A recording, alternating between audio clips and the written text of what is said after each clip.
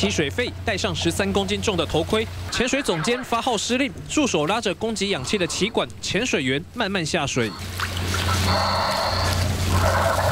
回报下潜深度丝毫不马虎，他们是国军版的怒海潜将，海军水下作业大队。这身装备的话，顶多在三百尺的话，顶多最最最长的作业时间也只能到达三十分钟。如果超超过三十分钟的话，它那个减压的时间不够的话，会就形成大家比较通俗知道叫做潜水夫病。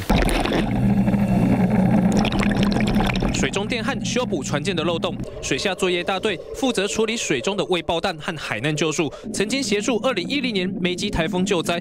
不过当时有人连生日都来不及过。我蛋糕都还没有吃的时候，我就被召回部队。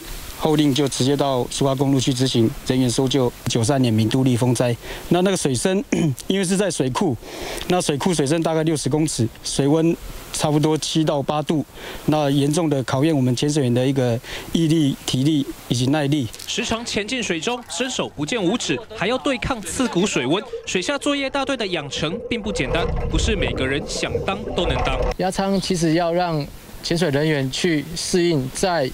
某个压力之下，那潜水人员可不可以在这个压力环境之下去作业？学会了潜水技能，但是到最后的压舱，你还是没有办法通过的话，那前前面的训练的过程当中就白费了。越是刻苦，就越不服输。水下作业大队靠着特有专长，在水面下为国军和民众贡献一己之力。记者志刚潘建任基隆报道。